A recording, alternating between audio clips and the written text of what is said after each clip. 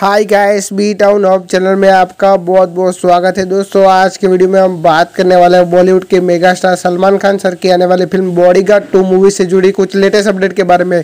जी हाँ दोस्तों bodyguard two फ़िल्म के अंदर पहली बार हमें श्रद्धा कपूर और सलमान खान बड़ी स्क्रीन पर रोमांस करते नज़र आएँगे। जी हाँ दोस्तों, श्रद्धा कपूर का नाम सामने आ रहा है।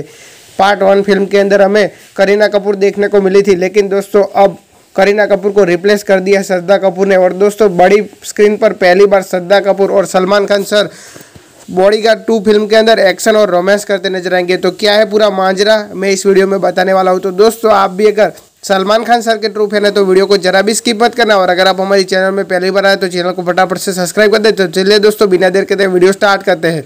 वैसे तो दोस्तों सलमान खान सर अपने फैंस के लिए बैक टू बैक कई सारी फ़िल्मों की अनाउंसमेंट कर रहे हैं, जिनमें से 2021 के ईद के मौके पर राधे आने वाली है। हाल ही में जिस फ़िल्म की शूटिंग कर रहे हैं, उस फ़िल्म का नाम है अंतिम द फाइनल ट्रूथ और दोस्तों इसके अलावा दोस्तों आप सभी जानते हैं कि बॉलीवुड की सबसे ज़्यादा बजट वाली तीन सौ पचास करोड़ की फ़िल्म टाइगर ज़िंदा थ्री फ़िल्म की शूटिंग भी स्टार्ट कर दी गई है दोस्तों।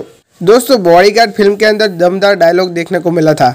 जिस तरह से मैं बोलता हूँ मुझ पर एक एहसान करना कि मुझ पर कोई एहसान ना करना। कुछ इस तरह के डायलॉग हमें पार्ट टू फ़िल्म के अंदर देखने को मिलेंगे। जी हाँ दोस्तों, श्रद्धा कपूर की जगह पर हमें सॉरी दोस्तों, करीना कपूर की जगह पर हमें श्रद्धा कपूर देखने को मिलेगी। और ये जोड़ी पहली बार बड़ी स्क्रीन पर रोमांस करती नज़र आएँगी। जी हाँ दोस्तों, इस फ़िल्म के अंदर हमें कॉमेडी भी देखने को मिलेगा।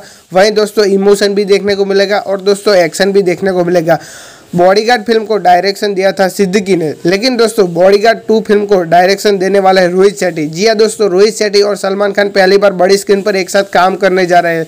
यानी कि सलमान खान और श्रद्धा कपूर भी पहली बार देखने को मिलेंगे। वहीं दोस्तों, श्रद्धा कपूर, सलमान खान और रोहित शेट्टी की कॉम्बो भी हमें पहली बार ही एक साथ बड़ी स्क्रीन पर देखने को मिलेगा। वहीं दोस्तों, ये फ़िल्म का बजट के बारे में बात करें तो 90 से 120 करोड़ के भारी भरकम बजट में बनाया जाएगा। और दोस्तों, अभी तक इस फ़िल्म की ऑफिशियल अनाउंसमेंट नहीं की, लेकिन जल्द से जल्द इस फ़िल्म की ऑफिशियल अनाउंसमेंट देखने को मिलेगी, क्योंकि इस फ़िल्म की स्टोरी पर काम चालू है।